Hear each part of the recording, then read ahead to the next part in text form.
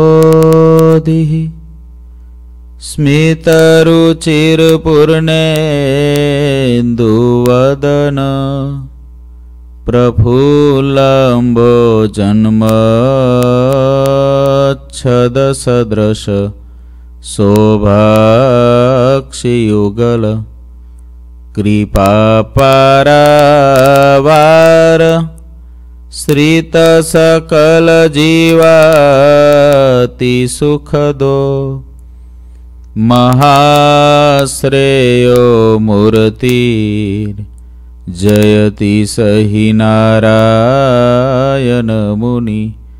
वर्णिवेशरमणीयदर्शनं मन्दहासरुचिरात्मनाम्बुजम् पूजितं सुरनरोतमेर्मुदा धर्मनन्दनमहं विचिन्तये। ॐ अवतारिणे श्रीस्वामिनारायणाय नमो नमः। ॐ श्रीहरिकृष्णाय नमो नमः। ॐ श्रीपूर्णपुरुषोत्तमाय नमो नमः। बोलो श्रीस्वामिनारायणभगवाननि શ્રી હરિકૃષ્ણ મહારાજની, શ્રી ઘનશ્યામ મહારાજની જય. બધાય ભક્તોને થી જય સ્વામિનારાયણ. સદગુરુ આધારાનંદ સ્વામી, પૂર ત્રીજુને તરંગ ઓગણીસ. એની અંદર માંગરોળની કથા ભગવાન શ્રીહરિની લખે છે. મુક્તાનંદ સ્વામી જે ઉત્તમ રાજાને આ કથા સંભળાવી, મહારાજે માંગરોળની અંદર બ્રાહ્મણોના કહેવાથી બ્રાહ્મણોને પ્રતાપ બતાવવા માટે ચતુર્ભુજ રૂપે વિષ્ણુ સ્વરૂપે દર્શન દીધા. મહારાજનો પ્રતાપ જોઈને જે જે ભક્તો મહારાજના આશ્રિત થયા, એને મહારાજે સદાચારી જીવન જીવવા માટેનો ઉપદેશ આપ્યો. સદાચારમય જીવન જીવતા જીવતા કુસંગથી દૂર રહેતા રહેતા એ ભક્તોના અંતઃકરણ ચોખ્ખા થયા. અંતઃકરણ ચોખ્ખા થતા ભગવાન સ્વામિનારાયણ જે વાતો કરતા એ એ ભક્તોના હૃદયમાં સ્થિર થતી. અને એના કારણે ત્યાર પછી ભગવાને એ બધાને ધ્યાનની વાતો કહેવાનું શરૂ કર્યું. એ હરિભક્તોના શુદ્ધ થયેલા હૃદયની અંદર ધ્યાનની વાતો ટકવા લાગી. શ્રી હરિયાપ કો સ્વરૂપ હે જૈસા सबको देखावन लगे तैसा आप कहे आपको जो प्रताप आप कहे आपको जो प्रताप को न माने जन ही पापा को न माने जन ही पापा શ્રી હરિ આપ સ્વરૂપ હે જે શ્રી હરિ એ સમયે પોતાનું જેવું સ્વરૂપ છે તેવું સ્વરૂપ ભક્તોને બતાવવા લાગ્યા. સ્વયં પોતાનો પ્રતાપ કહે તો પાપી લોકો તેને માને નહીં. જીવના જન્મો જન્મના પાપ એટલા છે કે ભગવાનને પ્રત્યક્ષ મળે અને ભગવાનને મળેલા મોટા પુરુષો એને પ્રત્યક્ષ મળે, છતાંય પણ એની વાત મનાય નહીં. ચમત્કાર વિના નમસ્કાર નહીં, એવી એક સમાજની કહેવત છે. સમાજ ચમત્કારની અંદર બહુ માનતો હોય છે.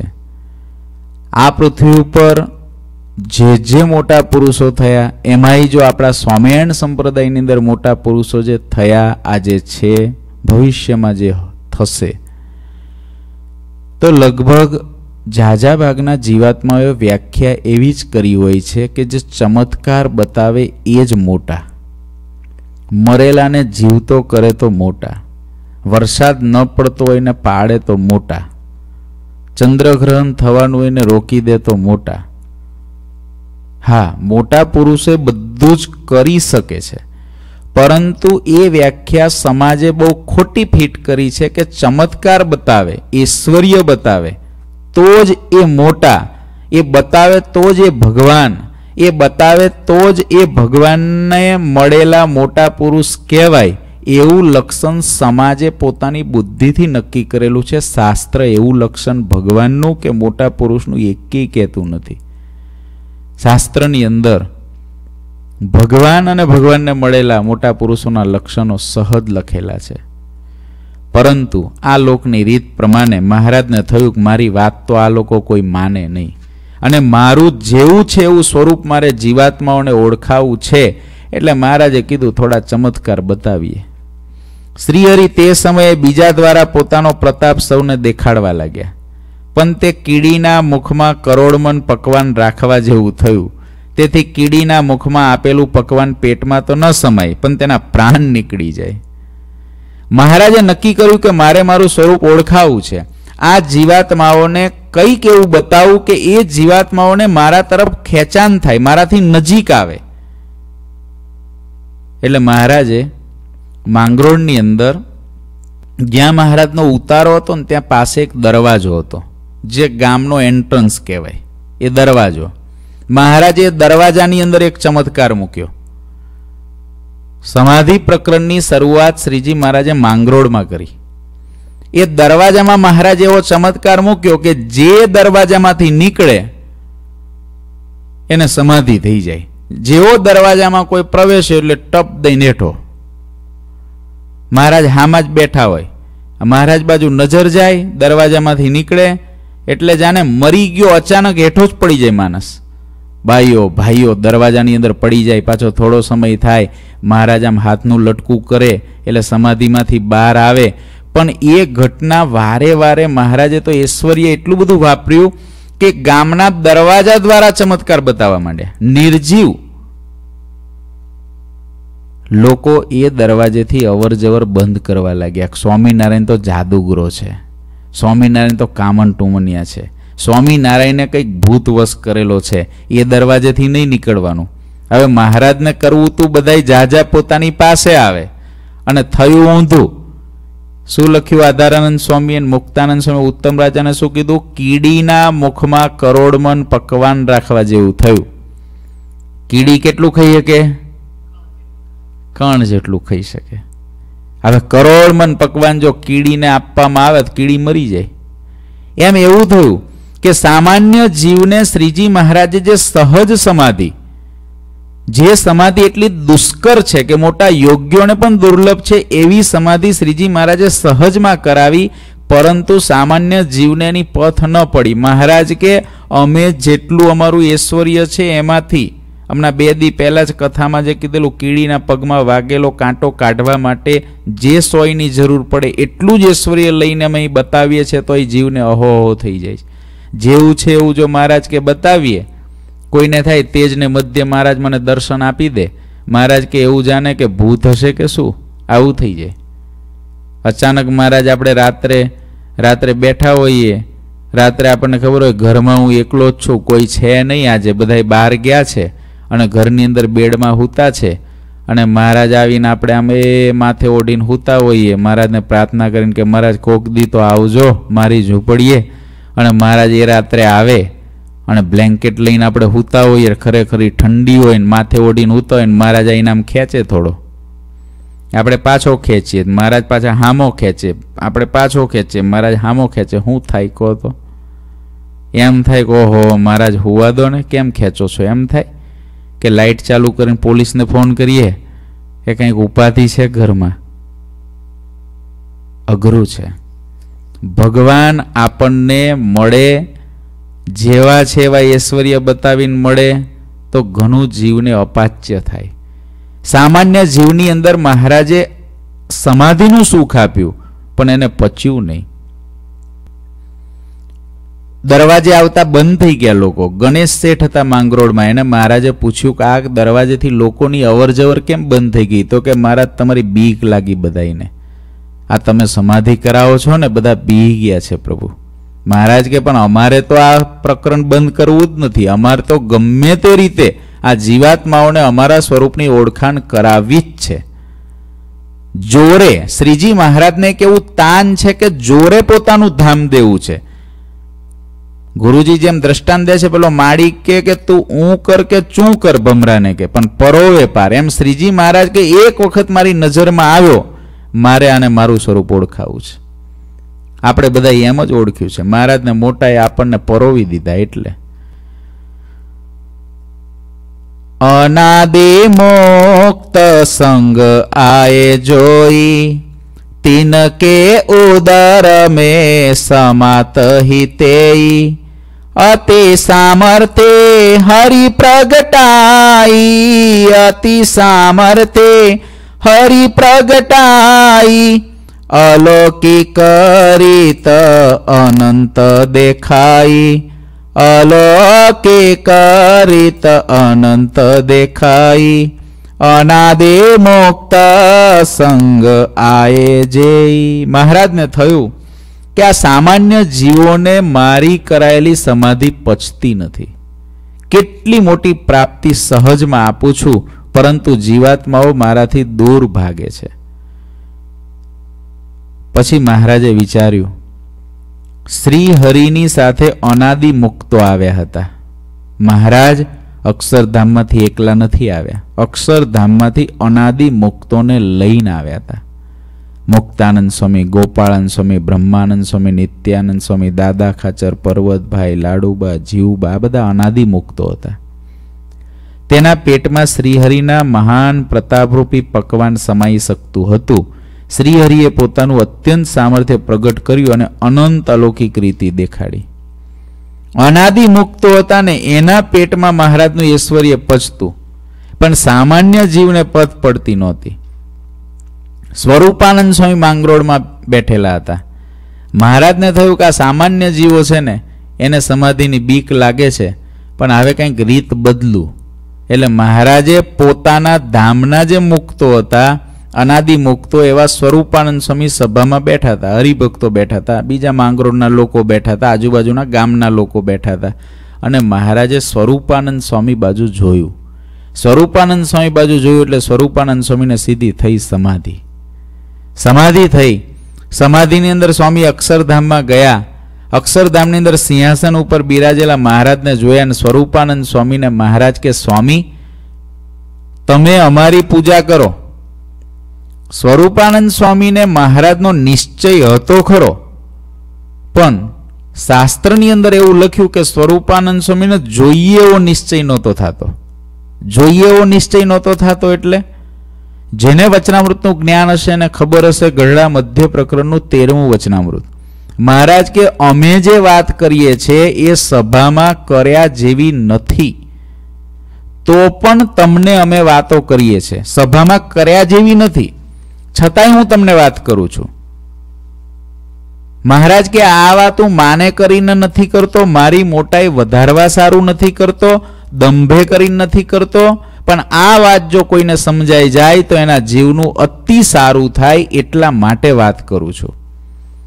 તો મહારાજ કે મારી મોટાઈ વધારવા માટે હું વાત નથી કરતો. તો મહારાજને સામેની સભા શું જાણતી હતી કે મહારાજને હજુ એનાથી મોટાઈ પોતાની બતાવવાની હતી? સામેની સભા મહારાજને મહાપુરુષ નહોતી જાણતી. સામે બેઠેલી સભા એ શ્રીજી મહારાજને કોઈ સત્પુરુષ નહોતી જાણતી. સામે બેઠેલી સભા એ શ્રીજી મહારાજને મુક્ત નહોતી જાણતી. સામે બેઠેલી સભા શ્રીજી મહારાજને ભગવાન જ જાણતી હતી. ગરડા મધ્ય પ્રકરણનું પાંત્રીસમું વચનામૃત. મહારાજ કે, તમે સર્વે અમને ભગવાન જાણો છો. એનો અર્થ, કઈ મધ્યના તેરમામાં ભગવાન નહોતી જાણતી મધ્યના પાંત્રીસમાં એ સભા ભગવાન જાણતી થઈ ગઈ એવું નહોતું? મધ્યના પાંત્રીસમાં મહારાજ કે, તમે સર્વે અમને ભગવાન જાણો છો. એનો અર્થ, કે એ સભા ભગવાન તો શ્રીજી મહારાજને જાણતી જ હતી આ પૃથ્વી ઉપર ભગવાન સ્વામિનારાયણનું સર્વોપરીપણું સૌથી પ્રથમ એ છે કે પૂર્વે જે અવતારો થયા ત્યારે એ અવતારો પરબ્રહ્મ છે, ભગવાન છે. ભગવાનનો અવતાર છે. એવું સ્વીકારવા વાળા ભક્તો ગણતરીના હતા. આંગળીના ટેરવે ગણાય એટલા જ હતા. રામ અવતાર કે કૃષ્ણ અવતાર કે બીજા અવતારોમાં. પણ ભગવાન સ્વામિનારાયણને ભગવાન છે એવું માનવા વાળા ભગવી કંથા પહેરેલા ત્રણ ત્રણ હજાર સાધુઓ. હરિભક્તો તો હજારોની સંખ્યાની અંદર. અંગ્રેજો જેવા અંગ્રેજો પણ માનતા કે આ પરબ્રહ્મ છે, ભગવાન છે. મુસલમાનો માનતા કે આ ખુદા છે. એવા ભગવાન સ્વામિનારાયણ. એ ભગવાન સ્વામિનારાયણે મધ્યના તેરમાં એમ કીધું કે મારે આ વાત મોટાઈ જણાવવા માટે નથી કરવી, એ કઈ વાત? ભગવાન તો બધા જ જાણતા હતા. આજે પણ સંપ્રદાયમાં બધા જ ભગવાન સ્વામિનારાયણના જે આશ્રિતો છે, બધાય ભગવાન સ્વામિનારાયણ ભગવાન જ જાણે છે. પણ ફેર કઈ જગ્યાએ પડે છે? સ્વરૂપાનંદ સ્વામી ભગવાન તો જાણતા. અક્ષરધામની અંદર મહારાજના દર્શન કર્યા, પણ મહારાજને જેવું જોઈતું હતું એવું હજુ સ્વામીને સમજાયું ને એટલે મહારાજે કીધું, સ્વામી, એક કામ કરો, આ અક્ષરધામના જેટલા મુક્તો છે ને બધાની તમે એક સાથે પૂજા કરો અને બધા મુક્તોને તમારી અંદર લીન કરો. સ્વરૂપાનંદ સ્વામી કે એ કેવી રીતે શક્ય થાય? મહારાજ કે કેમ ના થાય? સંકલ્પ કરો, આ ચોવીસ અવતારો ઊભા છે. આ ચોવીસ અવતારમાંથી એક પણ અવતાર સર્વ અવતારના અવતારી હોય, તો તમારા અનંત રૂપ થાય એવો તમે સંકલ્પ કરો ને બધા મુક્તોને તમારી અંદર લીન કરો. હવે અક્ષરધામની સભાના અનાદિ મુક્તો ઉત્તમ નિર્વિકલ્પ નિશ્ચયવાળા મુક્તો મધ્યમ, કનિષ્ઠ નિર્વિકલ્પ, ઉત્તમ સવિકલ્પ, મધ્યમ સવિકલ્પ ને કનિષ્ઠ સવિકલ્પ એટલા બધા મુક્તોને પોતામાં લીન કરવાના, એ કેટલું મોટું સામર્થ્ય જોઈએ? ત્યારે એ લીન થાય. સ્વરૂપાનંદ સ્વામી મહારાજ કે, સંકલ્પ કરો આ ચોવીસ અવતારમાંથી. સ્વરૂપાનંદ સ્વામી સંકલ્પ કર્યો, પણ ન થવાનું. મહારાજ કે, હવે સંકલ્પ કરો કે આ તમારી સામે સિંહાસનમાં બેઠેલું સ્વરૂપ અને નીચે માંગરોળની અંદર તમે જ્યાં દેહે કરીને છો, એ માંગરોળમાં બેઠેલું સ્વરૂપ, એ સર્વ અવતારનું જો અવતારી હોય, તો મારા અનંતરૂપ થાવ ને તમામ મુક્તોની પૂજા કરીને, તમામ મુક્તો મારા સ્વરૂપને વિશે લીન થાવ, આવો સંકલ્પ કરો સ્વરૂપાનંદ સંકલ્પ કર્યો અનંત રૂપે થવાનું. અનંત રૂપે થયા અનંત રૂપે થઈને અનંત મુક્તોની પૂજા કરી, અને દરેક મુક્તોને પાછા સ્વરૂપાનંદ સ્વામી પોતામાં લીન થતા જોયા, પોતામાં લીન થયા. અને સ્વરૂપાનંદ સ્વામી સમાધિમાંથી બહાર આવી નાચવા લાગ્યા.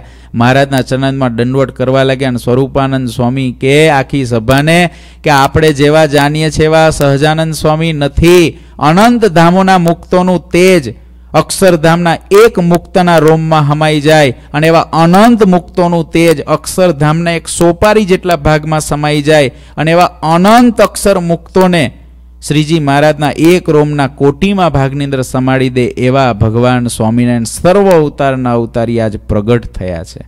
આવું સ્વરૂપાનંદ સમયે વાત કરી. ત્યારે સામાન્ય જીવોને થોડું થોડું હા પડવા લાગી. પણ મહારાજે નક્કી કર્યું છે કે મારે તો સામાન્ય જીવોને પણ મારી મૂર્તિ જેવી છે એવી ઓળખાવી છે. આટલી દયા તો મહારાજે સ્વયં કરી. યાદ રાખો ઓન તમે આ વાતો કરીએ છીએ અને સાંભળીએ છીએ ને, એ ભગવાનના સંકલ્પે કરીને થાય છે. ભગવાન સ્વામિનારાયણ નથી મળે એવા.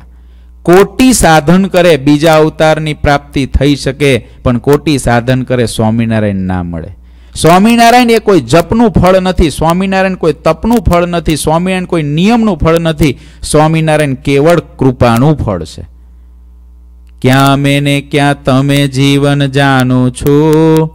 તે તો કૃપા કરી છે તમે જીવન જાણો છો. આ જે કડી છે ને, એ કડી આપણા માટેની છે એવું નહીં.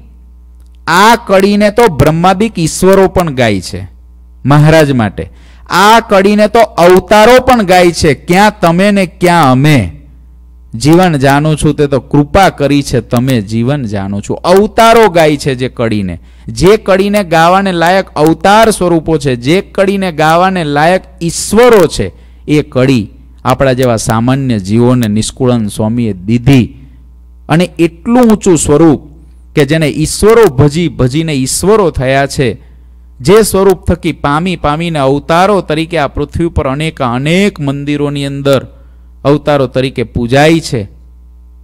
એવા અવતાર સ્વરૂપો, ઈશ્વર સ્વરૂપો, આ બધાએ પુરુષોત્તમ થકી બધું થયું છે. જ્યારે વરસાદ વરસવા લાગે, ત્યારે સાર કે અસાર વસ્તુને જોતો નથી. તેના ઘરમાં કાંઈ ખોટ નથી, ગમે ત્યાં ને ગમે તેટલું વરસે છતાં પાણી તો અખૂટ જ રહે. જ્યારે ભારે વરસાદ વરસે, ત્યારે કાચા ઘરમાં તો પ્રલય થઈ જાય, તે વરસાદથી કાચા ઘરવાળાને આનંદ થતો નથી. તેથી તે ભારે વરસાદને દેખીને તો રડવા લાગે છે. જે જે રસાલ પદાર્થ કહેવાય, તે તે વરસાદ વિના નીપજતા નથી. જ્યારે વરસાદ બિલકુલ ન આવે, ત્યારે દુષ્કાળ થયો કહેવાય. જ્યારે ભગવાન પ્રગટ થાય, ત્યારે સાર અસાર, પાત્ર કુપાત્ર કાંઈ જોતા નથી. મહારાજે નક્કી કર્યું છે, મારે તો જીવોને સમાધિ કરાવી છે, એટલે મહારાજે પોતાની ચાખડીઓની અંદર રૂપાની ગુગરીઓ ફિટ કરાવી. મહારાજ કે, હવે લોકો મારી આગળ આવતા બંધ થયા ને, તો મારે હવે લોકો પાસે જવું છે. એટલે રોજ મહારાજે શું કર્યું? ગોવર્ધનભાઈ શેઠ માંગરોળના સમાધિનિષ્ઠ હતા ગોવર્ધનભાઈને ઘેર થાળ જમવા જાય, મૂળચંદભાઈ હતા, એને ઘેર થાળ જમવા જાય. અલગ અલગ ભક્તોને ત્યાં થાળ જમવા જવાનું. એમાં મહારાજને એકવાર ગોવર્ધનભાઈ ત્યાં થાળ જમવા જવાનો સમય થયો. એટલે મહારાજ પેલી રૂપાની ગુગરીઓવાળી ચાખડી પહેરીને આલે અને ચટકનતી ચાલ મહારાજને ગુગરીઓના અવાજ એવા આવે તે હારું મોહક એવું લાગે ને તે કોઈ પણ એ બાજુ ખેંચાય ગુગરીનો અવાજ સાંભળે ને સમાધિ. ગુગરીનો અવાજ સાંભળે ને સમાધિ. કેટલાથી કેટલી વાર તો આખા આખા બજારો સમાધિ ની કોઈક માલ ખરીદતો હોય તો એવો ને એવો ઊભો રહી ગયો, વેપારી આપતો હોય તો એને એવો સ્થિર થઈ ગયો. મહારાજ જમીન જ્યારે પાછા વળે અને ફરી ઘૂઘરીઓનો અવાજ સંભળાય ત્યારે સમાધિમાંથી બહાર આવે. એટલે માંગરોળની અંદર એક વાત ફેલાઈ ગઈ સ્વામિનારાયણ તો એવા જાદુગરા છે કે સ્વામિનારાયણ નીકળે તો હામું જોવાનું નહીં. સ્વામિનારાયણની ચાખડીનો અવાજ સાંભળવાનો નહીં. સ્વામિનારાયણનું નામ દેવાનું નહીં. સ્વામિનારાયણ હામું જોવાનું નહીં. સ્વામિનારાયણની નજરને આપણી નજર એક થાય એટલે મરી ગયા. આખા માંગરોળમાં આવી વાત ફેલાઈ ગઈ. મહારાજ કે તમે ગમે તે કરો. હું કરો કે ચું કરો પરો વેપાર હવે ઘૂઘરી ચાખડીનો અવાજ. હવે ચાખડીમાં ઘૂઘરીઓ હોય. મહારાજે થોડી ઘૂઘરીઓ વધારે ફિટ કરી. ગોવર્ધનભાઈ ઘેર જવાનો થાળનો ટાઈમ થયો. મહારાજ ચાલ્યા. મુક્તાનંદ સ્વામી કરતાલ લઈને આગળ નાચતા જાય. ચાર સંતોએ ઉપર સોનેરી ચંદની આમ ઢળીને એમાંય પાછી મહારાજ કે ગુગરીઓ ફિટ કરો, એમાંય. એટલે સંતો હાલતા હોય તો એની ગુગરીઓ વાગે, ચાખડીઓની ગુગરીઓ વાગે. તે એક વેપારીને આ બેઠેલો વાંક્યાથી બે બે હરિ, બે હરિભક્તો નહોતા, પણ બે દરબારો હતા, ઠુમર જ્ઞાતિના. તે બે જણા વાંક્યાથી એક હજાર રૂપિયાનું લગ્ન માટે સીધું લેવા આવ્યા હતા. ઓલા શેઠિયાને ત્યાં શીખું જોખાવતા હતા દૂરથી શેઠિયાએ જોયું કે કંઈક આવે છે સ્વામિનારાયણનો સંઘ, સાધુઓને જોયા. ઓલો શેઠિયો કે બે જણા કે મોઢું નીચું કરીને ગોઠણ વચ્ચે મોઢું મૂકી દો ઊંચું જોતા નહીં, સ્વામિનારાયણ નીકળે છે અહીંથી. ઓલા શેઠિયાએ દરવાજાને, દુકાનોને બધું બંધ કરી દીધું. એ દેવો ઠુમર હતો, એ જે હતો એ. એક હજાર રૂપિયાનો સામાન લઈને ગાળામાં ભરતા હતા ને પેલા શેઠિયાએ કીધું, બે આમ ગોઠણ વચ્ચે પગ મૂકીને માથું હેઠું કરીને બેહી ગયા. આ જીવનો આવો સ્વભાવ છે. ભગવાન અને મોટા જ્યારે સામે મળે, ત્યારે ગોઠણ વચ્ચે માથું લઈને નીચું જોઈને બેહી જાય. કલ્યાણ કેમ થાય? પણ મહારાજ ચાલ્યા જતા હતા ને, ઓલા દેવા ઠુંબરને થયું, જોવા તો છે સ્વામિનારાયણ કેવા છે? ઓલા ઓલા શેઠિયાન કે, સ્વામિનારાયણની હામું જોઈએ તો પ્રોબ્લેમ છે ને? તો કે હામું જોઈએ તોય પ્રોબ્લેમ છે ને, કાનમાં જો એની એની ચાખડીઓનો અવાજ ગયો ને ગુગરીઓનો તોય પ્રોબ્લેમ છે. એટલે તું એ બાજુ જોતો જ નહીં. અને કાનની અંદર ડાટા નાખીને નીચા જોઈ લો. એ જ્યારે સ્વામિનારાયણ પણ, ઓલો કે મારે જોવા છે. ઓલો કે જોવા માલ નથી. પેલો કે મારે જોવા જ છે. અને ત્યારે મહારાજ આગળ નીકળી ગયા ને પેલા શેઠે કીધું, જો ઓલા ચંદી નીચે આલ્યા જાય ને એ સ્વામિનારાયણ. મહારાજની ચાલ ઓલા દેવા ઠુમરે જોઈને અને એ દેવા ઠુમરને થઈ ગયું કે, ઓહો, આ તો હંસ જેવી ચાલ છે. આવી ચાલ તો મેં કોઈની જોઈ નથી. ચાલ મહારાજની હૃદયમાં કોતરાઈ ગઈ. પછી એ બે સીધું લઈને પોતાને ગામ ગયા, લગ્ન પ્રસંગ પતાવ્યો, પછી સંતો ગયા એક ગામમાં. સંતો ગયા સંતો દ્વારા સત્સંગ થયો અને મહારાજ પાસે આવ્યા અને જે દેવો ઠુમર હતો એ સાધુ થયો. મહારાજ કે, માંગરોળમાં અમે નીકળ્યા હતા ત્યારે ગોઠણમાં માથું લઈને બેસી ગયા હતા ત્યારે માથું લઈને બેસી ગયા હતા પછી સાધુ થયા, પછી મહારાજને કે, મને સમાધિ કરાવો. પછી મહારાજે સમાધિ કરાવી છે. પણ મહારાજે નક્કી કર્યું કે, મારે પાત્ર, કુપાત્ર બધાય જીવને આ વખતે મારા સ્વરૂપની ઓળખાણ કરાવી છે. શ્રીહરિએ આ વખતે કલ્યાણનો વરસાદ, મલબારના વરસાદની જેમ કર્યો. વરસાદ વરસાયો કલ્યાણનો. શ્રીહરિ પ્રગટ થયા એટલે કળિયુગ પણ સત્યુગ જેવો થઈ ગયો. નિષ્કુળન સ્વામીએ લખ્યું, ભાગ્ય જાગ્યા જાનવા. કોટી થયા કલ્યાણ. આજ અમૃતની થઈ. રહી નહીં કાંઈ ખોટ. એક કલ્યાણનો ક્યાં રહ્યો? થયા કલ્યાણ કોટ.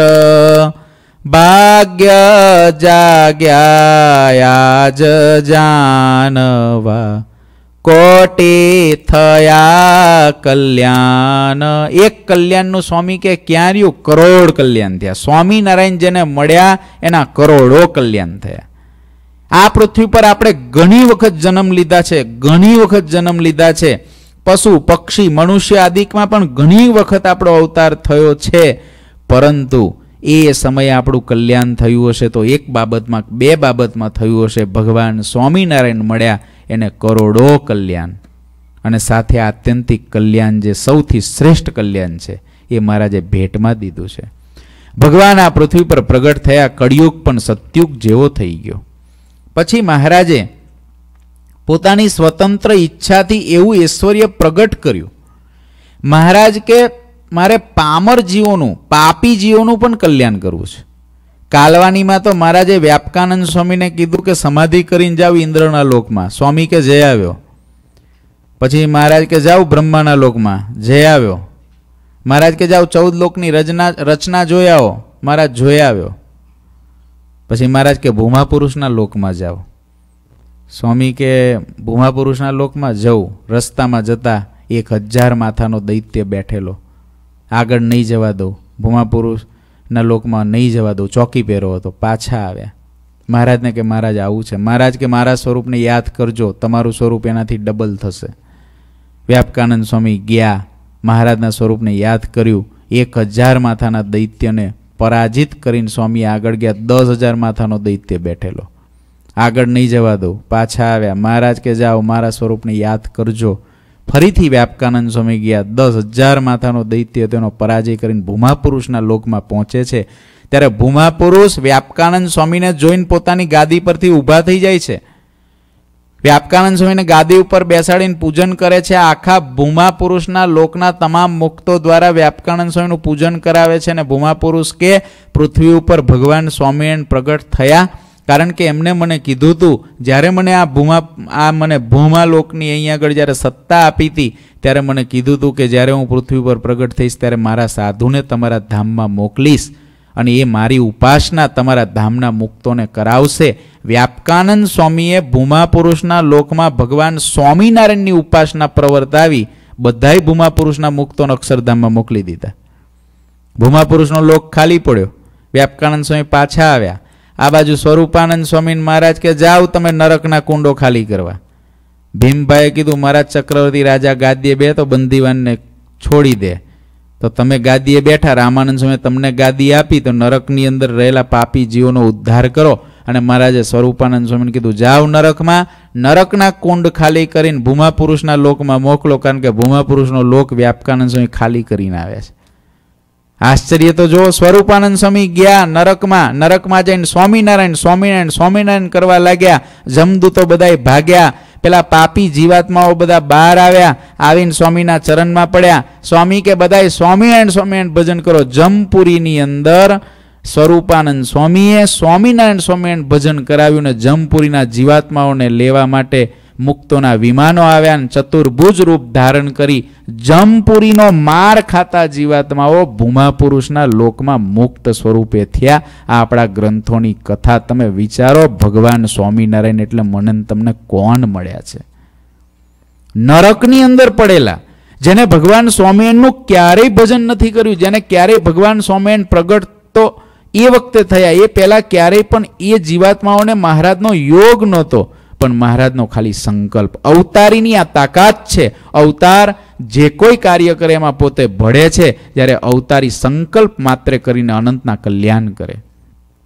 અરે અવતારી સોટી દ્વારા મૂળચંદભાઈને શ્રીજી મહારાજે માંગરોળમાં એક સોટી આપી. લાલ ફૂમકાવાળી લીલું ફૂમકું બીજી બાજુ પર. લાલ ફૂમકું ઓડાડે સમાધિ થાય અને લીલું ઓડાડે સમાધિમાંથી બહાર આવે. આવા હરિભગત દ્વારા, સોટી દ્વારા, સત્સંગી દ્વારા, સાધુ દ્વારા શ્રીજી મહારાજે જે ઈશ્વરીઓને પરચા બતાવ્યા, આજે બતાવે છે, ભવિષ્યમાં બતાવશે, એ જ ભગવાન સ્વામિનારાયણનું સર્વોપરીપણું છે. ક્યાંય કોઈને પૂછવા ન જવું પડે, ક્યાંય પૂછવા જવું ના પડે કે મહારાજ કેવા છે? મહારાજ બહુ મોટા છે. આજે આપણે બોલીએ છીએ ને જીભથી, કાનથી જે સાંભળીએ છીએ મનમાં જે વિચારીએ છીએ બુદ્ધિ દ્વારા જે નિશ્ચય કરીએ છીએ ને એ તો મહારાજ જેવા છે ને. એમાં અબજમાં ભાગનું પણ આપણે બોલી નથી શકતા. એના અબજમાં ભાગનું પણ આપણે સમજી નથી શકતા. એના અબજમાં ભાગનું પણ આપણે સાંભળી નથી શકતા. જેવો છે એવો મહિમા, એ તો ગોપાળન સ્વામી મુક્તાનંદ સ્વામી એ બધાય જાણે. અને એક એક વખત એમ કેવું હોય તો શ્રીજી મહારાજ એમ કે છે કે મારા મહિમાના પારને હું પોતે પણ પામતો નથી. ગોપાળન, સ્વામી પણ એમ કે છે એ મહારાજને જેવા છે એવા તો હજુ અમે પણ નથી જાણતા.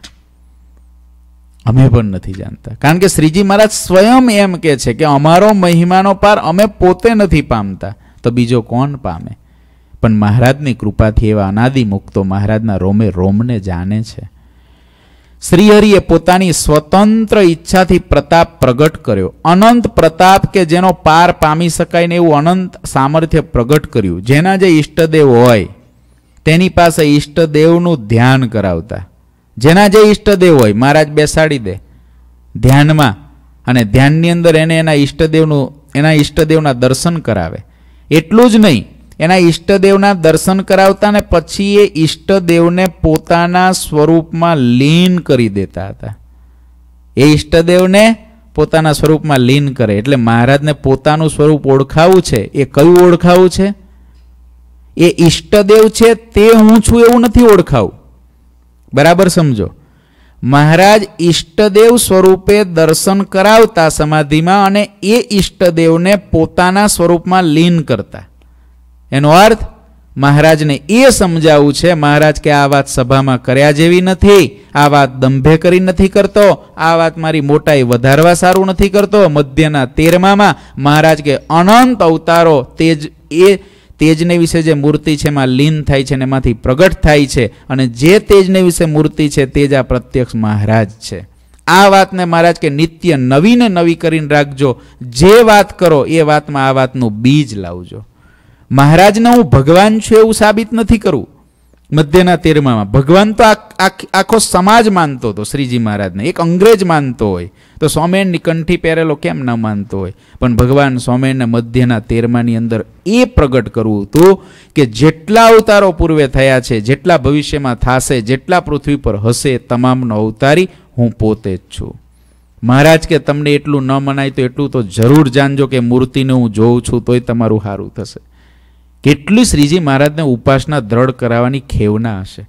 અંતેના સોળમામાં મહારાજ કે, પોતાના ઈષ્ટદેવના, પોતાના ઈષ્ટદેવ છે, પોતાને જે સ્વરૂપ મળ્યું છે, પોતાને જે સ્વરૂપ મળ્યું છે, એને બીજા અવતાર જેવા જને એની વ્યભિચારીની ભક્તિ કહેવાય. મહારાજને કેટલું તાન છે. અંત્યના આડત્રીસમાં મહારાજ કે, સર્વ અવતારનો અવતારી સર્વ કારણનું કારણ તમારે સર્વને નયન ગોચર વર્તે છે, એ જ ઉપાસના કરવા યોગ્ય છે. આ શ્રીજી મહારાજનું તાન છે. આપણે નિત્ય કથા સાંભળવાવાળા, એમાંય પૂજ્યપાદ ગુરુજીના કૃપાપાત્ર આપણે હોઈએ, તો આપણા જીવની અંદર આ દ્રઢતા તો એટલી જોરદાર થઈ જવી જોઈએ ભગવાન સ્વામિનારાયણ સિવાય મારા માટે. આ બ્રહ્માંડની અનંતકોટી બ્રહ્માંડો અનંતકોટી ધામોમાં કોઈ ભગવાન નથી. એના અવતાર સ્વરૂપો છે, બધાય મને માન્ય છે, પૂજ્ય છે બધાને વંદન કરું, પૂજા કરું, એના ઉત્સવ કરું, એની કથાઓ એના ચરિત્રનું ગુણગાન કરું, શ્રીજી મહારાજને રાજી કરવા માટે, પરંતુ શ્રીજી મહારાજ જેવું કોઈ હતું નહીં, કોઈ છે નહીં, કોઈ હશે નહીં. એ શ્રીજી મહારાજના સ્વરૂપની જે દ્રઢતા, એને જીવમાં કરવાની છે સ્વરૂપ નિષ્ઠા છે, એ જ આત્યંતિક કલ્યાણનો પાયો છે. આપણી પાસે કોઈ સાધનની તાકાત નથી. કોઈ સાધનની તાકાત નથી. સ્વામી કે આપણી સાધને કરીને મોટાઈ નથી, આપણી તો ઉપાસનાએ કરીને મોટાઈ છે. આપણે જો હું કોણ છું હું કેટલી તાકાતવાળો છું એ જોર કરવા જઈએ ને, તો આપણે ક્યાંય પહોંચી શકીએ એમ નથી. પરંતુ એક જોર જો ચોક્કસ કરી શકીએ કે હું કોનો છું. મારા ઈષ્ટદેવ કોણ છે? મને કોણ એમ કે છે કે મારો આશ્રિત મારો આશ્રિત મારો આશ્રિત એમ કરીને બસો બાર શ્લોકનો વાલસો એ શિક્ષાપત્રી મારા ઈષ્ટદેવે મને દીધી જે સર્વ અવતારના અવતારી છે, એને મને દીધી. વચનામૃત, તમે સર્વે અમારા કહેવાઓ છો, મધ્યનું પિસ્તાળીસમું મહારાજ કે તમે સર્વે અમારા કહેવાઓ છો, તો અમારે તમારામાં તલ માત્ર કસર રહેવા દેવી નથી. શ્રીજી મહારાજે આપણને પોતાના કેવડાવે બસ, આજ આપણી મોટપ. બીજી કોઈ જગ્યાએ આપણી મોટપ કામ લાગે એવી નથી. આપણા સાધન તો શું? આપણું શું સાધન? આપણે શું તપ વ્રતને જપ કરી દઈએ? આપણે કેટલી વાર ધ્યાન કરી શકીએ? પણ સ્વામિનારાયણ મળ્યા ને, એ બહુ મોટું કામ થઈ ગયું છે. બહુ મોટું કામ થઈ ગયું છે. આ બાજી લાગી ગઈ છે. લોટરી લાગી ગઈ છે. હવે આ બગડવી ના જોઈએ. હવે આ જન્મે બસ એ મહારાજના સ્વરૂપની નિષ્ઠા રાખીએ ને, એટલે મહારાજ પાર પાડી જ દેવાના છે. સ્વરૂપની નિષ્ઠા. અનંત પ્રતાપ કે જેનો પાર પામી શકાય ને એવું મહારાજે સામર્થ્ય પ્રગટ કર્યું.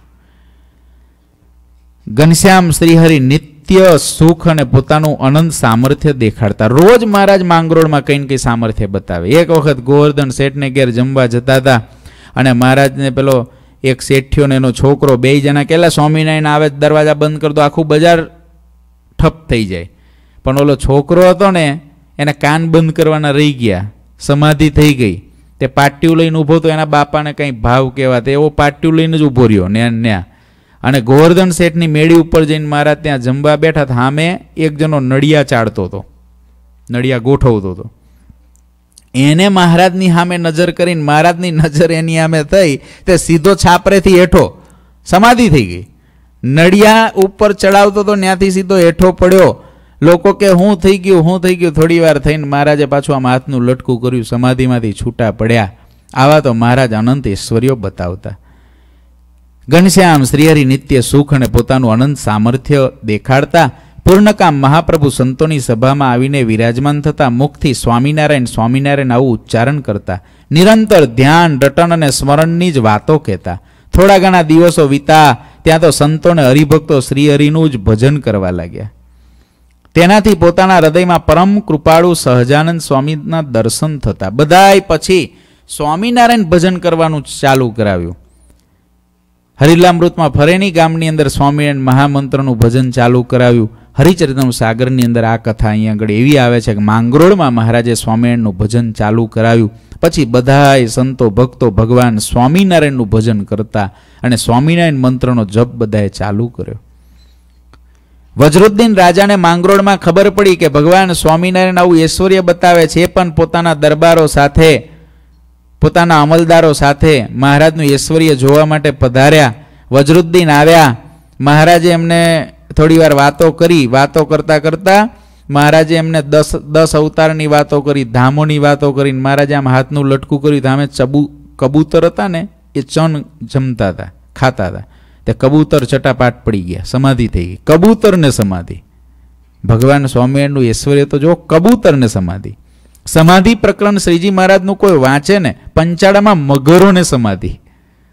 મગરીઓ, એ મગરીઓ તળાવ, એ મગરોને સમાધિ કરાવી દીધી. કબૂતરોને સમાધિ થઈ, ઓલા એ જોયું વજરુદ્દીને વજરુદ્દીને જોયું ને, એટલે એ દૈવી હતો.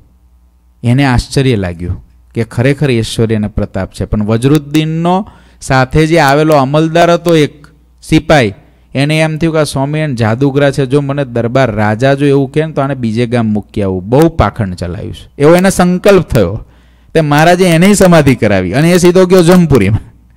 જેનું જે એડ્રેસ જમપુરીમાં જઈને જમદૂતોએ જે ધોકાયો કે સ્વામિનારાયણ ભગવાન પ્રત્યે આવો સંકલ્પ કરે છે, વજરુદ્દીન જોયા કરે કબૂતરની સમાધિ થઈ, પોતાના સિપાહીની સમાધિ થઈ. અને આ સિપાઈ કબૂતર ચટ્ટાપાટ પડ્યા છે અને ઓલો સિપાઈ ઉછળે છે. એટલે મહારાજને કે, પ્રભુ, આ શું છે? મહારાજ કે, કબૂતર છે, કબૂતર ને કબૂતરે જે સંકલ્પ કર્યો એવો ફળ મળ્યો ને આને જેવો સંકલ્પ કર્યો એવો ફળ એને મળ્યો. હમણાં સમાધિથી બહાર આવે ત્યારે પૂછી લેજો શું છે. થોડો સમય થયો ને મહારાજે સમાધિમાંથી બહાર કાઢ્યો. ઓહો, આ કે ઓ માં મરી ગયો, મારા હાડકા ભાંગી નાખ્યા.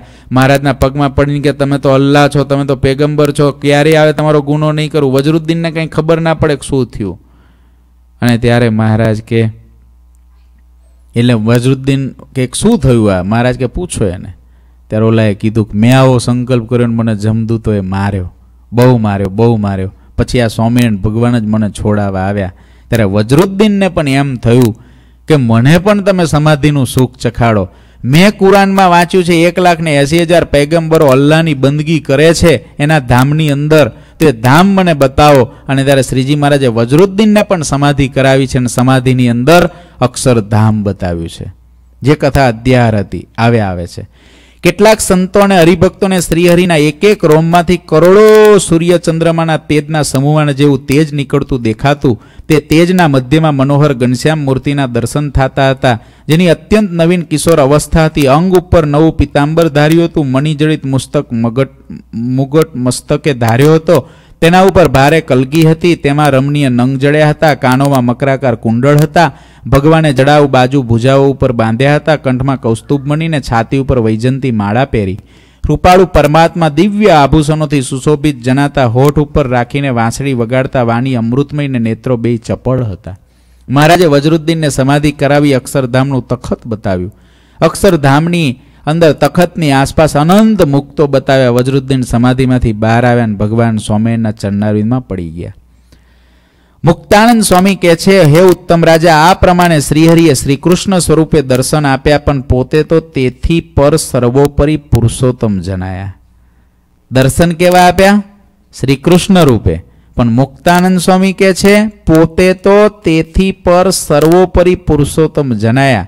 ગોલોકધામના મધ્યથી પર જેને સર્વોત્તમ અક્ષરધામ કહે છે, તે અક્ષરધામ મધ્યે તેના કરતાં પણ કોટીગણો અક્ષરરૂપ શ્રી પુરુષોત્તમનો બ્રહ્મહોલ છે, જે બધા જ ધામો કરતાં કોટીગણો અજોડ અનુપમ છે. તેમાં બિરાજમાન પુરુષોત્તમ નારાયણ બધા જ ધામોને માટે ઉપાસ્ય છે, તેમને ઉપાસ્ય કોઈ છે જ નહીં.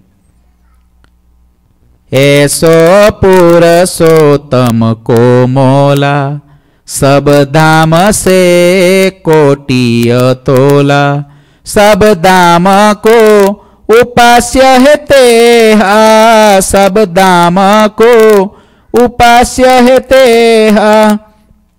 इनको नहीं उपास्य है केहा इनको नहीं उपास्य है केहा બધા ધામોના પતિ એમને ભજે બ્રહ્મોલની અંદર જે અક્ષરધામાધિપતિ છે એને, પણ એ અક્ષરધામાધિપતિને કોઈને ભજવાની જરૂર નથી. તમામ ધામોના ધામીઓ ભગવાન સ્વામિનારાયણનું ભજન કરે છે, પણ ભગવાન સ્વામિનારાયણને કોઈના ભજનની જરૂર નથી. તમામ ધામોના ધામી ભગવાન સ્વામિનારાયણની ઉપાસના કરે છે, પણ ભગવાન સ્વામિનારાયણને કોઈની ઉપાસના કરવાની જરૂર નથી. ગોપાળાન સ્વામીની વાતો. વાલા ભક્તો, મહારાજનું સ્વરૂપ સમજવું હોય મોટા સાધુના સ્વરૂપો સમજવા હોય, સત્સંગનું સ્વરૂપ સમજવું હોય, તો એકલું વચનામૃત નહીં. વચનામૃતને સમજવા માટે વચનામૃત તો પૂર્ણ ગ્રંથ છે. એમાં બધું જ આવી જાય પરંતુ એને સમજવા માટે ગોપાળન સ્વામીની વાતો અને સદગુરુ ગુણાતીતાનંદ સ્વામીની વાતો એ વાંચવાનો અભ્યાસ કરો. અભ્યાસ રાખો. સાંભળો છો? એ બહુ સારી વાત છે. પણ તમારું પોતાનું વાંચન હશે. અને વાંચન ઉપર તમારું પોતાનું ચિંતન હશે. એમાંથી થતો પ્રશ્ન હશે એ તમે સંતોને પૂછશો, એ તમારા આત્માને સમાસ વધુ આપશે. કારણ કે ખોન્યું જ્ઞાન થશે. પર્સનલ તમારી જોડે વાતો થશે. પર્સનલ તમારા પ્રશ્નોનું નિરાકરણ થશે. માટે શાસ્ત્રનું વાંચન રાખો. ગોપાળન સ્વામીની વાત પ્રકરણ બીજાની સાતમી. થોડોક એ વાતનો પાર્ટ વાંચું છું. બીજા એવા હજારો વાર ચમત્કાર મહારાજે જણાવ્યા છે. હમણાં પણ જણાવે છે, કેવા ચમત્કારો? તો સ્વામી કે એક વખત મને મહારાજના શ્રીકૃષ્ણના દર્શન થયા ત્યારે શ્રીકૃષ્ણ મહારાજની સેવામાં દેખાના પર્વતભાઈના ચોવીસ અવતાર પોતાના વિશે લીન કરતા દેખાડ્યા.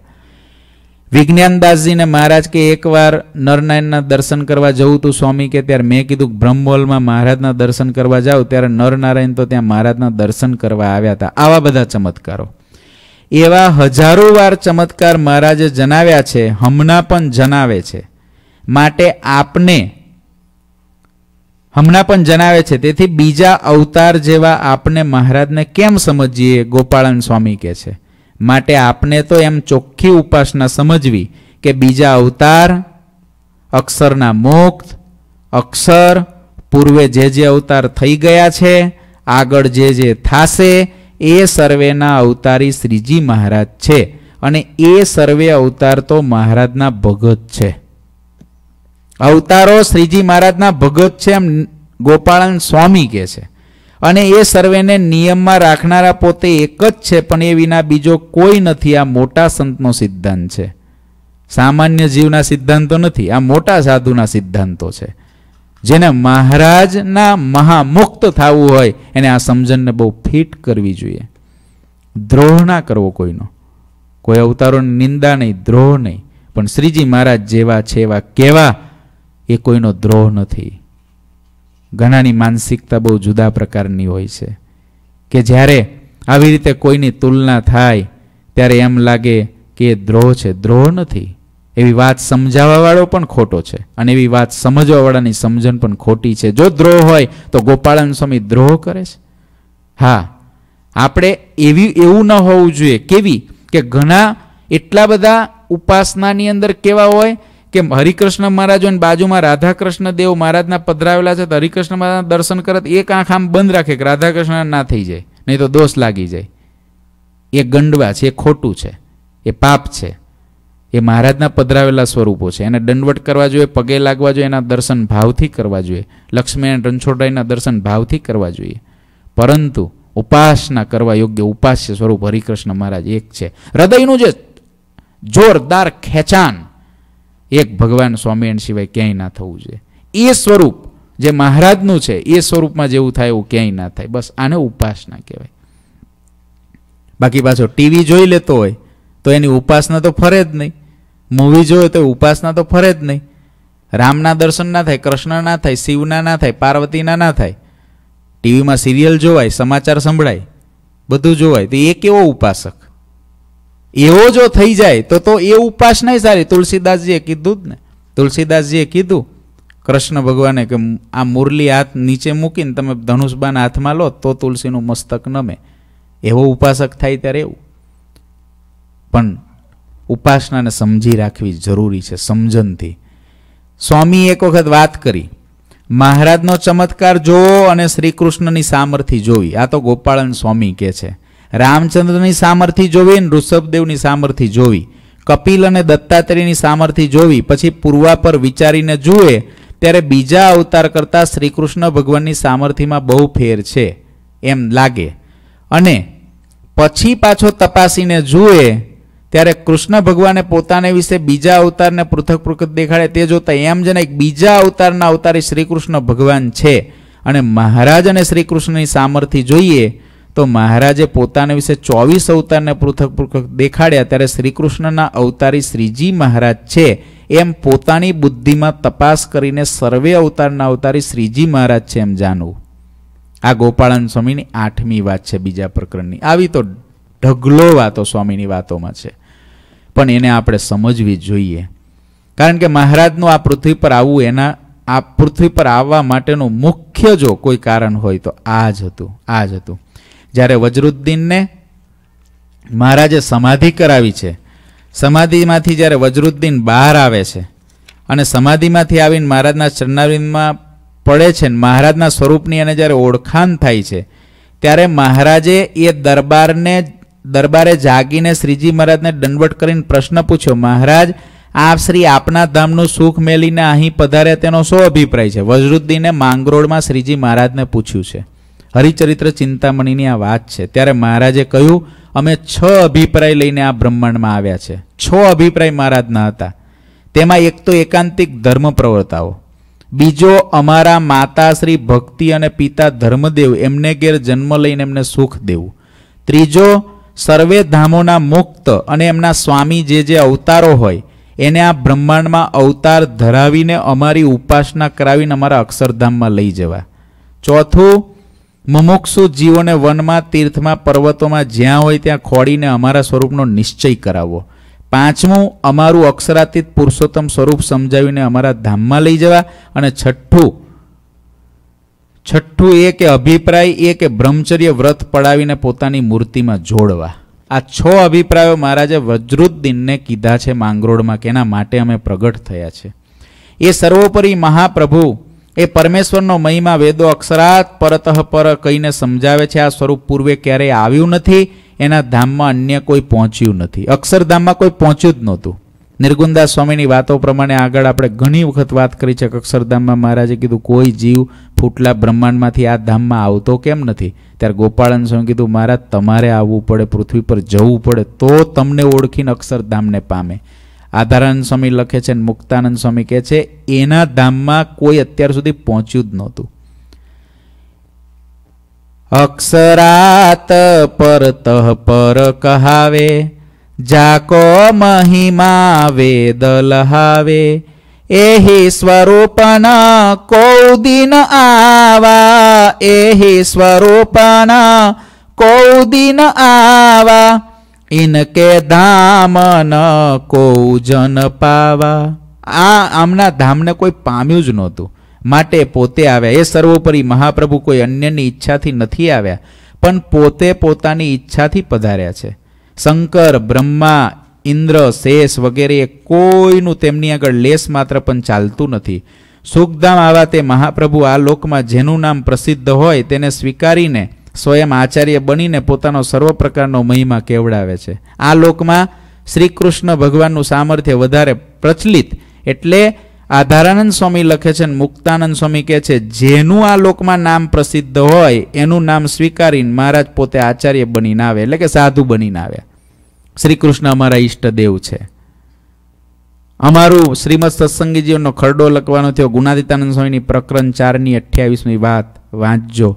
જ્યારે શ્રીમદ સત્સંગીજીઓનો ખરડો લખવાનો થયો ત્યારે નક્કી કરવામાં આવ્યું કે મહારાજને કોના જેવા લખવા. તો મહારાજે કહ્યું, મને શ્રીકૃષ્ણથી અધિક ના લખવો. શ્રીકૃષ્ણ જેવો છું. શ્રી કૃષ્ણ એ આ સ્વામિનારાયણ. આટલું જ વાતમાં આવવું જોઈએ. આનાથી આગળની એક પણ વાત શ્રીમદ સત્સંગીજીવન ગ્રંથમાં ન લખાવી જોઈએ. સંતોને પૂછ્યું, તમારો શું મત છે? બધા સંતો કે મહારાજ તમે જે કીધું એ બરાબર છે. નિત્યાનંદ સ્વામી કે, મહારાજ, હું તમને શ્રી કૃષ્ણ જેવા નહીં લખવા દઉં. સંતોને નિત્યાનંદ સ્વામી કે, તમે બધા મહારાજની આયે આ શું કહેવા માંડ્યા? મહારાજે માંગરોળમાં બધાના પોતાના ઈષ્ટદેવ રૂપે દર્શન કરાવીને બધાને પોતામાં લીન કર્યા છે. પર્વતભાઈને ચોવીસ અવતારો પોતામાં લીન કરતા દેખાડ્યા. હજારો ચમત્કારો. ભૂમા પુરુષની અંદર ભૂમા પુરુષના લોકમાં વ્યાપકાનંદ સ્વામીને મોકલીને ત્યાં ભૂમા પુરુષના લોક ખાલી કરાવીને અક્ષરધામમાં મોકલ્યા. નરકના કુંડ સ્વરૂપાનંદ સ્વામી પાસે ખાલી કરાવ્યા. એ શ્રીજી મહારાજને આપણે કૃષ્ણ જેવા લખવાના? સંતો કે, મહારાજે જે કીધું એ અમને માન્ય છે. મહારાજ કે, જે મારી વાતને માન્ય ન રાખે, મને કૃષ્ણ જેવો ના કે એનાથી અધિક જેને કેવો હોય ને અધિક લખવા માટેનો જેનો અભિપ્રાય હોય એ વિમુખ. અને ત્યારે નિત્યાનંદ સ્વામી વરતાલમાં સાત દિવસ સુધી વિમુખ થયા છે. મહારાજ રોજ પૂછે, સ્વામી, છોડી દો તમારી જીદ. આખા સંત સભા અમારા તરફેનમાં છે, અમારી બાજુ છે. તમે એકલા પડો છો. નિત્યાનંદ સ્વામી કે, એકલો તો એકલો, પણ તમે જેવા છો એવા જ કહીશ. અને સાતમા દિવસે શ્રીજી મહારાજ પોતાની પાટ ઉપરથી છલાંગ મારી નિત્યાનંદ સ્વામીને ભેટી પડે છે અને મહારાજ કે ઉપાસક હોય તો આવા હોય. અમારા કયા પણ ન ફરે. મહારાજ કે પેલા સંતોને કે તમે બધાય કે અમારી, અમે કીધું એમ અમારી ભેગા પડી ગયા. નિત્યાનંદ એક ઉપાસક સાચો છે. આવી ઉપાસના સમજો. મહારાજે આમ કીધું. આ બ્રહ્માંડમાં મહારાજ આવ્યા કે શ્રીકૃષ્ણ મારા ઈષ્ટદેવ છે. ક્યાંક કે શ્રીકૃષ્ણનો હું એક જ છે. ગોલોકમાંથી આવ્યા. એ શ્રી કૃષ્ણ અમારું સ્વરૂપ એક છે. એવું ઘણી જગ્યાએ કીધું હોય, વાત કીધી હોય. વચનાવતમાં કીધું હોય શ્રી કૃષ્ણ તો અવતારના અવતારી જ છે, આવી વાતો કરી હોય. પણ એક જ વચન કાફી છે. ભગવાનના ભગતને એક જ વચન કાફી છે. મહારાજ કે પોતાને જે સ્વરૂપ મળ્યું, પોતાને જે સ્વરૂપ મળ્યું, એને સર્વ અવતારનું અવતારી જાણવું ગરડા મધ્યનું નવમું. એને અવતારી જાણવું, સાકાર જાણવું. ભગવાનની લીલા આનંદ છે, તેનો પાર કોઈ પામી શકતું નથી. જેને એ ભગવાન જણાવે, તે જાણી શકે આવું પોકારીને વેદો કહે છે, હીરો હીરા વતે જ વિંધાય. કોઈ કે ભગવાનને મેં જાણી લીધા. કોઈ કે ભગવાનને હું જાણું છું. ભગવાન મન ઇન્દ્રિયો, ઇન્દ્રિયોથી અગોચર છે. ભગવાન ચિત્તના ચિંતનમાં આવ્યો નથી, મનના સંકલ્પમાં આવ્યો નથી, બુદ્ધિના નિશ્ચયમાં આવ્યા નથી. ભગવાન સ્વયં નક્કી કરે કે મારે આને ઓળખાવું છે, ત્યારે જ ભગવાન ઓળખાય છે. આપણે ભાગ્યશાળી છીએ કે આપણને પૂજ્યપાદ ગુરુજી જેવા એક મોટા સત્પુરુષની પ્રાપ્તિ થઈ કે જેના રોમે રોમમાં આજ્ઞાને ઉપાસના ઠચો ઠચ ભરેલી છે અને એની અંદર આપણને હેત થયું એને એટલે એના શબ્દે કરીને આપણા હૃદયની અંદર મહારાજનું જેવું છે એવું સ્વરૂપ આપણને ઓળખાયું. હીરો હીરાવતે વિંધાય. ભગવાનનો નિશ્ચય ભગવાન વતે થાય. તે પ્રભુનો પ્રતાપ જેટલો તે જાણે તેટલો મુખે કહે, પ્રતાપને જાણ્યા વગર શું કહે? મહારાજાદી રાજના પ્રતાપને દેખીને સંતો જે પરસ્પર વાત કરે છે તે સૌને કહી શકાતી નથી. ગુનાદાન કે, જીભ જાલીને બોલીએ છે. જેવું છે એવું તો અમથી પણ કહેવાતું નથી. એવો આજનો સમયનો શ્રીહરિનો પ્રતાપ છે. સંતો અંદરો અંદર વાત કરે, પણ બહુ જાહેરમાં વાત ના થાય. સમજાતું જ નહોતું. અંદરવાળાને નહોતું સમજાતું ઘણું. ભાઈ રામદાસજી, સ્વામી જ્યારે મુક્તાનંદ સ્વામી, ગોપાળાનંદ સ્વામી બધા વાતો કરે ને, મહારાજ સર્વોપરી સર્વ અવતારના અવતારી, બીજા અવતાર તો અંશ છે, કળા છે. મહારાજ તો પૂર્ણ પુરુષોત્તમ. ભાઈ રામદાસજી સ્વામી બહુ વડીલ. રામાનંદ સ્વામી વખતના સાધુ. તે તરત ઓલા સંતોને વઢે. ઉંમરમાંય નાના કહેવાય, દીક્ષામાંય નાના કહેવાય. તે રામદાસજી સ્વામી કે, હું તમે ભગવાનમાં પાસ શેર અને પોણો શેર જોખવા બેઠા જ. ભગવાન એટલે ભગવાન. એટલે પેલા સંતો મર્યાદા રાખે, કંઈ બોલે નહીં. પણ કાર્યારીમાં જ્યારે અંતકાળ સ્વામીનો આવે છે, ત્યારે દુર્ગપુર મહાત્મ્યમાં કથા લખાણી કે રામદાસજી સ્વામીને મહારાજે દર્શન દીધા. એવા દર્શન દીધા, શ્રીકૃષ્ણ આદિક અવતારોને પોતામાં લીન કરીને દેખાડ્યા રામદેવજી સ્વામીએ તાત્કાલિક મહારાજને સંતોને બોલાવ્યા અને પરમહંસોને બોલાવીને રામદાસજી સ્વામી કે, આજ સુધી હું આવું કહેતો ભગવાનમાં શું જોખ્યા કરો છો? પણ આજે હું જાહેરમાં કહું છું પાંચસો પરમંશના સમ ખાઈને કહું છું, પૃથ્વીની ગાયો માર્યાનું મને પાપ લાગે, ખોટું કહેતો હોવ તો તમે જે સંતો વાતો કરતા હતા એ બહુ સાચી હતી. ભગવાન સ્વામિયણ સર્વ અવતારના અવતારી છે. એના જેવો કોઈ થયો નથી, થશે નહીં. આજ સુધી મને એમ હતું કે શ્રી કૃષ્ણ એ સ્વામિનારાયણ ભગવાન, પણ એનાથી આ તો પરના પર છે, પરના પર છે. શ્રી હરિએ પૂર્વે અનંત અનંત અવતાર લીધા છે, પણ આ વખતે જે પ્રતાપ દેખાડે છે, તેનો લેસ પણ પૂર્વ અવતારોમાં દેખાડ્યો નથી. મુક્તાનંદ સ્વામી કહે છે, લેસ પણ નથી દેખાડ્યો પૂર્વ અવતારોમાં. એટલું સામર્થ્ય લઈને મહારાજ પ્રગટ થયા. આ વારે શ્રી હરિએ પ્રતાપ અનંત અપાર દેખાડ્યો છે. તે કહેતા, પાર આવતો નથી, અવતારી તો એક જ હોય, પણ તે અનંત ન હોઈ શકે. આવું બધા વેદોને પુરાણો કહે છે, અવતારી એક જ હોય. અન્ય અવતારોના પ્રતાપ કરતાં જેનો પ્રતાપ અધિક હોય, જેનો પ્રતાપ અધિક હોય, તેને પ્રેમી ભક્ત સર્વાધિક માને છે. જેમ રાજા અનેક હોય, પણ ચક્રવર્તી તો એક જ હોય. તેમ અવતાર અનેક હોય, પણ અવતારી તો એક સ્વામિનારાયણ જ હોય. મુક્તાનંદ સ્વામી કે છે, સત્સંગની માં કે છે. જેમ વરસાદ સર્વ વનસ્પતિઓને સુખદાયક છે, પણ જવાસો વરસાદના પાણીથી સમૂળો સુકાઈ જાય, તેમ કુબુદ્ધિ મનુષ્ય હોય તે સત્ય વાતને અસત્ય કહે. જગતમાં એક એવી અનાદિની રીત છે કે દુર્જન મનુષ્યને સત્યમાં વિશ્વાસ આવતો નથી. જે મહારાજને સર્વ અવતારના અવતારી નથી સ્વીકારી શકતા, એને મુક્તાનંદ સ્વામી કે દુર્જન ને કુબુદ્ધિવાળા છે. ગાયોના ધનમાં રહેલી ગાય સોહામણી લાગે, ગધેડાના ટોળામાં ગધેડો સારો લાગે. તેમજ અનેક જાતિઓને અલગ અલગ રીતે વિચારી જુઓ. જે જાતિનો કણ હોય તેમાં જ તે કણ શોભે, બીજી જાતનો કણ ઠીક ન લાગે. પોતપોતાની જાતિ વર્ણમાં બધા શોભે. આવો વિવેક શ્રીહરિ અપનાવ્યો, જે પ્રથમ યુગ સતયુગથી ચાલ્યો આવ્યો છે. શ્રીહરિને બધો વિવેક આવડે. અસુરની જાતિ બધું એક કરીને ચલાવે. હંસ, નીર અને ક્ષીરનો વિવેક જાણે બગલાને શું ખબર પડે દૂધ ને પાણી શું છે? જ્યારે સૂર્ય ઉદય થાય, ત્યારે જે વસ્તુ જેવી હોય તેવી બરાબર રીતે જાણી શકાય. અત્યારે બહુનામી સહજાનંદ સ્વામીરૂપ સૂર્ય ઉદય પામ્યા છે. અજવાળી હોય કે અંધારી હોય, રાત તે રાત જ કહેવાય. અજ્ઞાનરૂપ રાતમાં બહુ સમય વિતાવ્યો, જ્ઞાનનો દિવસ તો ક્યારેય અનુભવાય છે. બીજી તિથિઓ તો રોજ આવતી હોય, પણ ભાદરવા છઠ હસ્ત નક્ષત્ર હોય, વ્યતિપાત સાથે મંગળવાર હોય, આવો કપિલા છઠનો દિવસ બાર વર્ષે એક જ વાર આવે, એવી રીતે પૂર્ણ પુરુષોત્તમ તો અનેક યુગો વીત્યા ત્યારે પધાર્યા છે. અનેક યુગો વીત્યા ત્યારે. બ્રહ્માના એક દિવસમાં એક હજાર ચોકડી જાય. બ્રહ્માનો એક દિવસ જાય, એમાં સત્યુગ, ત્રેતા, દ્વાપર ને કળિયુગ, એ ચાર યુગની એક ચોકડી જાય. એ ચાર યુગની એક ચોકડી કહેવાય, એવા બ્રહ્માના એક દિવસમાં એક હજાર ચોકડીઓ જાય, એવા બ્રહ્માના ત્રીસ દિવસનો મહિનો, બાર મહિનાનું વરસ અને સો વર્ષની આયુષ્ય અને એવા બ્રહ્માએ ઓગણપચાસ વર્ષને દોઢ પહોર સ્તુતિ કરી ત્યારે મહારાજ આ બ્રહ્માંડમાં આવ્યા. કેટલા યુગો થયા? એટલા યુગો વીતી ગયા ત્યારે મહારાજ અહીં પધાર્યા છે. તે પૂર્ણ પુરુષોત્તમને વેદો નેતિ નેતિ કહીને છૂટી જાય છે. તેમ સમજવું જોઈએ, જેમ આકાશના પારને કોઈ પામે નહીં, તેમ સર્વોપરી પુરુષોત્તમની મોટપના પારને કોઈ પામે નહીં. જેમ મેં સાક્ષાત જોયું છે, મુક્તાનંદ સ્વામી કે છે, મેં જોયું છે, આ સમાની વાત અચરજકારી છે. તે ડીઠી મેં સાક્ષાત અચરજકારી છે. સ્વામી કે, મેં જોયેલી વાત હું કહું છું. મેં સાક્ષાત જોયું છે, સાંભળ્યું છે. તેમ તે પૂર્ણ પુરુષોત્તમની વાત હવે હું કહું છું, લોકાલોક જેવો જે પર્વત છે, તે પણ જે એક હાથે ઉઠાવી શકે છે. તેમના પ્રતાપ જેવો બીજા કોઈનો પ્રતાપ ન હોઈ શકે. દેખતો માણસ હોય તે જાણી શકે, પણ આંધળો માણસ માને નહીં.